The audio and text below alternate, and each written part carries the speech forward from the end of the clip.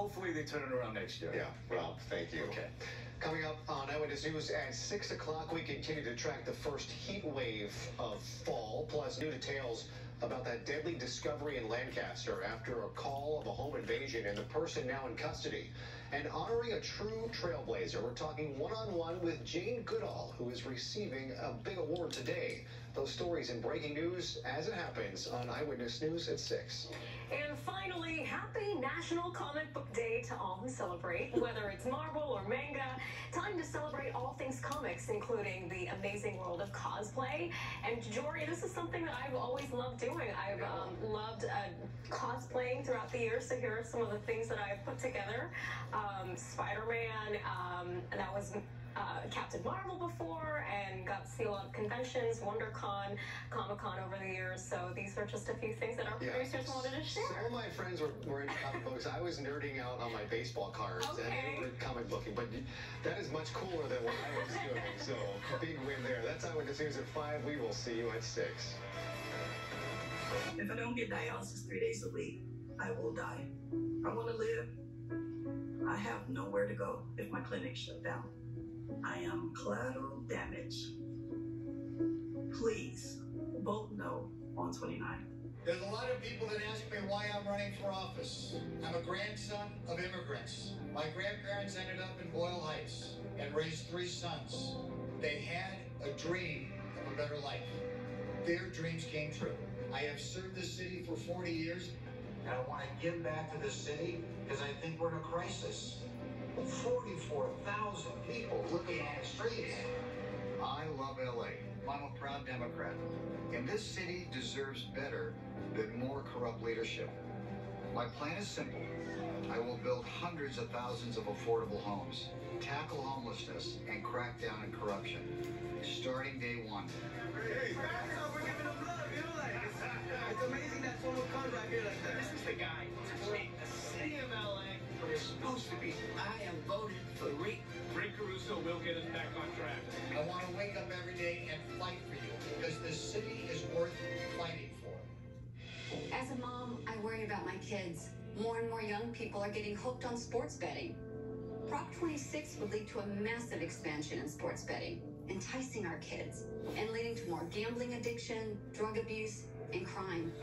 One of the tribal casinos bankrolling Prop 26 regularly allows underage gambling. And nothing in Prop 26 stops underage gamblers from betting on sports in a tribal casino. Vote no on Prop 26. It's gone. The Supreme Court has taken away our right to choose, giving politicians power to control women's most personal health decisions.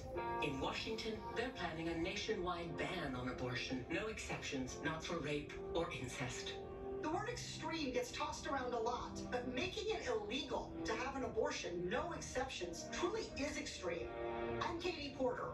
I'll fight any attempt at a nationwide abortion ban, and that's why I approve this message.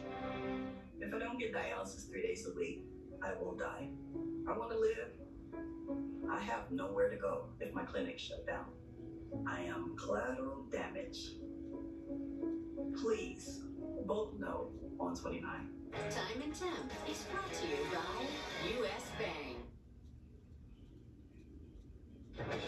Tonight, several developing stories as we come on the air. The state of Florida bracing for impact as a dangerous storm is expected to rapidly intensify into a major hurricane. And thousands arrested in Russia in a violent anti-war crackdown. First, that state of emergency in Florida. Residents filling sandbags, stocking up on supplies. Officials warning people to get ready for Ian now. The storm expected to strengthen into a major hurricane in the warm waters of the Gulf of Mexico before taking aim at Florida. And news from Canada and Puerto Rico tonight after a devastating hurricane wiped away homes and knocked out power. Rob Marciano standing by from Tampa with the latest hurricane track and timing out another severe weather threat in the Northeast.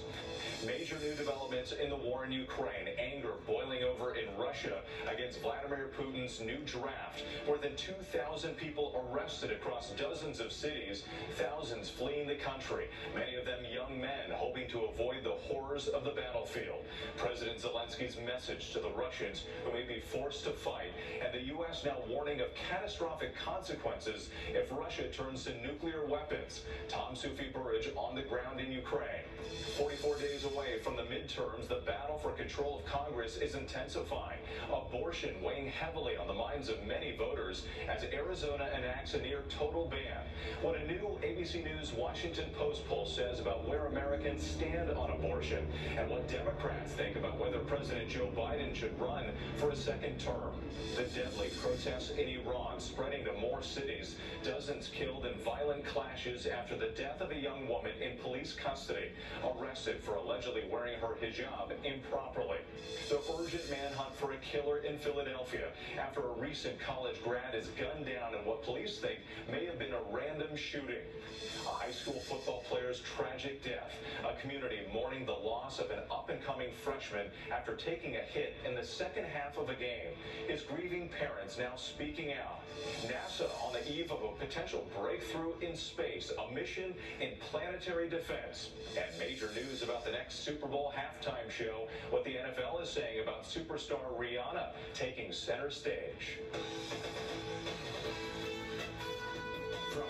News World Headquarters in New York, this is World News Tonight. Good evening. It's great to have you with us on this Sunday. I'm Whit Johnson. We have a lot to cover tonight. The fury in Russia over the new draft is spreading. Authorities arresting more than 2,000 people as some Russians race to flee.